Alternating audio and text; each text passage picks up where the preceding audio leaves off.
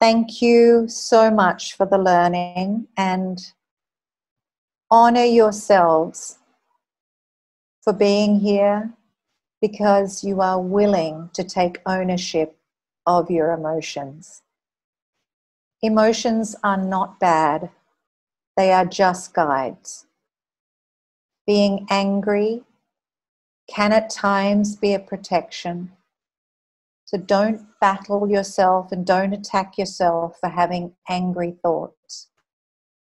Just honor the feeling and send love to yourself.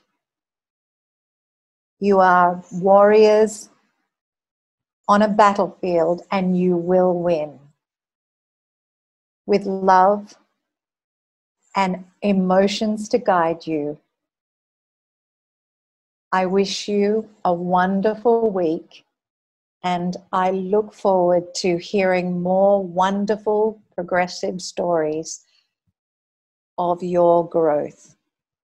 Thank you, thank you, thank you.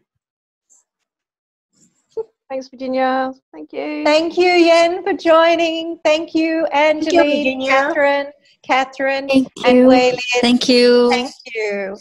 Thank you so much. Lots and lots of love. I love you all and I respect you all. And keep going.